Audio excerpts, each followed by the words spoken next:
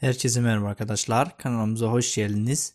Yal Çapkın dizisinin 52. bölümüne ait olan yeni bir kamera arkası görüntümüzü sizlerle paylaşıyoruz. Bu resim biraz önce güzel oyuncumuz Gözde Kansu tarafından kendi sosyal medya hesabında paylaşıldığı için sizlerin de görmesini istedik. Böyle ki Gözde Kansu kendi sosyal medya hesabında senaryo okurken bir resim paylaştı ve şu an Gözde Kansu'nun Afra Saraçoğlu ve Mert Ramazan Demir ile beraber Kadıköy moda setinde olduğu bilgisini aldık.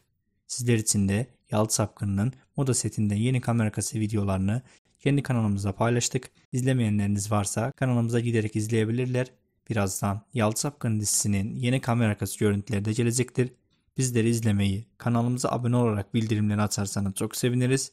Sizleri seviyoruz. Hoşçakalın.